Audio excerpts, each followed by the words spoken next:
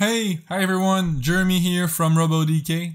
In today's tutorial, we are going to talk about our plugin for Rhinoceros 6. So I'm going to show you how to create an engraving project starting from a design created in Rhino 6. So here we can see the end result of, our, of today's project. So I'm going to show you how to do that in a few minutes. You will see it's very very simple and very very fast. The goal of our plugins is really to improve your workflow as robot programmer. In other words, make your work easier and faster. So enough for the intro, let's jump right into it. I'm gonna start by hitting the escape and let's switch to the other station that I have here. It's pretty much the same station as before but without any work done on it. So here we have an ABB IRB 1200 with a simple, simple spindle. And here we have a PDF file which is the outline of a robot that I created. Uh, the important thing to understand is that we need a vector image for everything to work. So I saved mine uh, as a PDF because it keep everything as a vector file. And now I can go in Rhino. And here we have a curve that I created before. So the goal of today's project is to engrave on top of that curve. So let's get started. I'm gonna take my vector image and I'm gonna simply drag it and drop it on top of the Rhino project. And I can click on OK. And now we can see that I have the little robot at the end of my mouse, but it is like way too small. So I'm going to drop it near the center of the part and I'm going to use in the transform tab the 2D scale option to be able to scale it at a reasonable size. So here we go. And now I can move it a bit. Perfect, it seems to be centered. Okay, whoops, okay, like that. Now that everything is centered, I have my image right on top of the X and Y plane. So next step is to project it on top of the surface. So it's pretty easy with Rhino. I select the image and I just hit the project curve. I select the surface and then I press enter. Nice. So now we have our image projected on top. Uh, be aware that we still have the original image uh, down there. So afterward, you are going to look for the RoboDK tab. Obviously, you are going to need to install the RoboDK plugin in your version of, version of Rhino. Uh, I won't show you guys how to do that today, but I'm gonna leave a link in the description with all the information to download, install, and set up your RoboDK plugin. For the current project, I'll be using the auto setup option. We also have three other options, so load part, load points, and load curves. But we won't address those today. I'll be showing, showing that in future videos. So make sure to stay tuned to our channel for all our newest feature and tutorial video. Let's click on the auto setup option. And now I need to select the part and the, the image. Make sure not to select the original image because it would be generated in RoboDK and we don't want that. Now the only thing we need to do is to press enter and the RoboDK window will pop up and we have our part just right there. We also have our path to follow and in fact the path to engrave which is pretty cool. The plugin also bring us a few other things in the station. So, like I already said, the part itself, and just underneath that, a following curve project, just right here with the window, and again underneath that, a robot program. So here in the follow curve project, there's a few interesting things. First of all, we have the robot and underneath that we have the tool, which is the spindle. We can also see that we have 953 points to reach, which would be honestly a mess if we did that one by one without the plugin. And here we have an X, a big red X. That means that for the moment, the robot isn't able to reach every point in our project. So we are going to need to fix that. So let's click on show estimated toolpath and here we have a bunch of green spindle who just appeared. Now we can update and simulate the project to see where is the problem. Here we certainly have like just looking at the position of the robot, we certainly have a problem due to singularity uh, which maybe will happen in an instant. So let's wait a few seconds. This section worked. This one worked too. And next line, oh, here. So it told me that the MoveL can't be executed.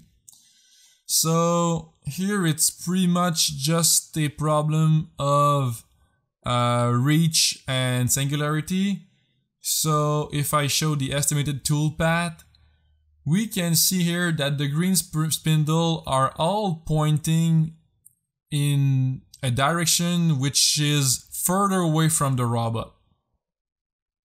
So here every point is doable, that's why we have the green spindle, but it's not because every point are reachable that every lines are doable. So here, like I said, the flange is pointing in a direction which is not in the direction of the robot, if we have we can have it in the direction of the robot that would be uh, better. Before going further we need to understand something. Generally engraving or machining system use three or five axis machine. But with most industrial robot we end up having six axes to work with. One of those axes or degree of freedom if you want is then unused here it's the rotation around the z-axis of the tool. So we can use that degree of freedom to change the orientation of the tool around the z-axis. So maybe we can bring the flange in the direction of the robot. So here with the path to tool offset, we are going to be able to rotate our spindle in a better direction, if I can say. So if I click on the RODZ and I use my scroll wheel to change the number, I can bring it up. We can see that it's moving the spindle.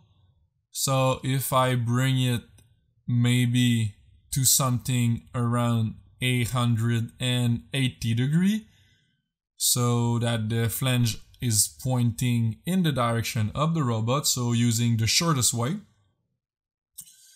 Now that we have that, I'm just gonna move it a bit. I can update and simulate. Okay, so let's see what's happening. Okay, this seems to be perfect. By the way, we have the green check mark, which means that everything is reachable and in theory doable. So let it run a bit to make sure that everything is okay. Perfect, perfect.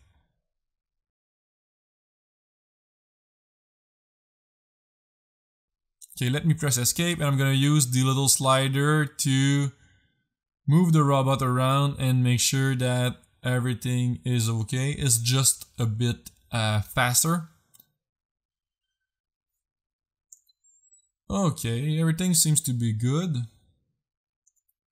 Perfect. Okay, next thing, let's talk about those green lines popping out uh, from the object. Those lines are simply the approach and retract to every curve that we need to we need we need those to avoid collision with the object. Those are automatically created by RoboDK.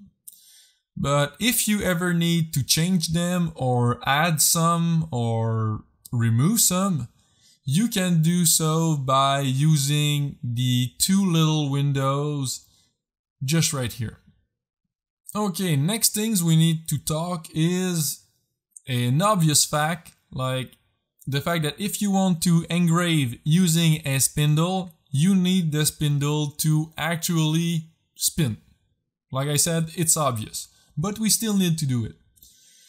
So it's quite easy to do it with RoboDK. So the only thing you need to do is click the program event in the follow curve project. So here, and now we have the window appearing and here we have the start path and path stop that are activated. That means that we can activate an IO at the start of a path and deactivate it at the end of a path. It's pretty much what we want to do with the spindle. So here I'm gonna write spindle on and just below I'm gonna write spindle off.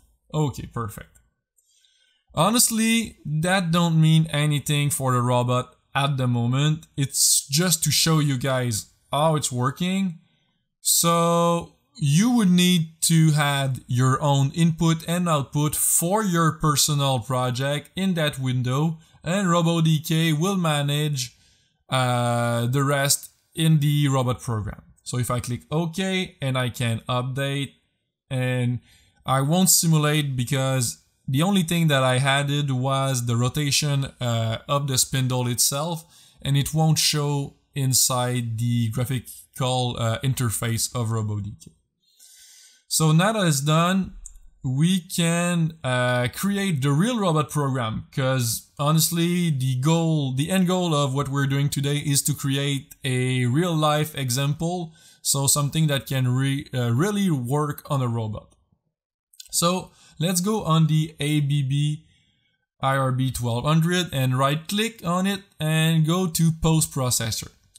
Now we need to select the right post processor. Here it's a newer version of ABB, so the IRC5 would be suitable for our need. So let's double click on it. And now I can go on the robot program that was created by the Following Curve project and I can go on generate robot program. If I click on it, here we have a notepad page appearing and this page is literally just showing us the program that RoboDK created. Considering that we work with an ABB, the program is a .mod in Rapid. So this is the good thing to do. Here we can see that we have a lot of move L and here we can see that we have the call to subroutine spindle on. If we had a subroutine spindle on activating our spindle, that would do the trick in real life. So like I already said, we have over 900 points to reach, so that gives us a pretty long project, but we didn't have to do much to achieve that. So, which is cool. It's pretty much like 10 minutes in that video and we did the whole project. Okay, that's pretty much everything for today's video. I hope you enjoyed it and if you did, subscribe to our channel. I'll be posting a tutorial on a bunch of stuff related to RoboDK and its new features. And if you want us to cover a topic in particular, feel free to write it in the comment section below. I'll be looking at that in the future. And if you have any technical question on RoboDK, please visit our forum where our community will be more than happy to help you with your project. That being said, have a good day guys.